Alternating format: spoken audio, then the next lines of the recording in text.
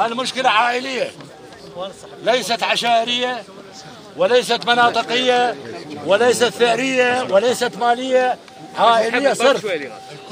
اثنين كقبيلة الغرير سكت الآن كقبيلة الغرير لم تكن مأزومة في هذا الموضوع. نحن نتعاون مع الأجهزة الأمنية ومع القضائية ومع التحقيقية من أجل إحقاق الحق بهذا الموضوع. هذا الموضوع يتطلب الآتي. هنالك سلوك اجتماعي جديد يعتمد صناعة متهم. كيف أصنع متهم؟ عندي خصومة مع شخص على أرض على ساجة شلون أصنع متهم؟